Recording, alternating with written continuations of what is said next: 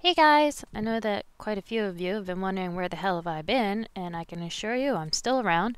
Just that life decided to drop a proverbial bunch of rocks on me, and I'm only now managing to unearth myself. So I got a bit of bad news and a whole bunch of good news. Bad news is I'm still digging myself out, but good news is that the end of my semester this semester is coming to a close in the next few weeks, so I'll actually be able to have some time to get some more videos of the path up for you. And by the way, if you haven't already, go ahead and vote. I'll still let voting happen for the next Chicky Doo that I control up until I actually get around to recording it. But then you're saying, oh, that means I still gotta wait a few more weeks before you actually put up the path.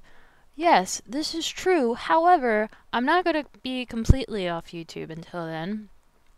Bob the Pet Ferret, aka Sven, who I'm sure all of you are well familiar with by now, uh, has a bit of a tradition that he does every year for Christmas, in which he does an Advent killer, Advent killer, yeah, Advent calendar in uh, LP style, in which for 24 days he puts up videos of himself playing games and doing commentary, which he usually does so that people can vote for the game that they want, and then he does a stream. Not sure if he's doing the stream this year, but he's still doing the calendar.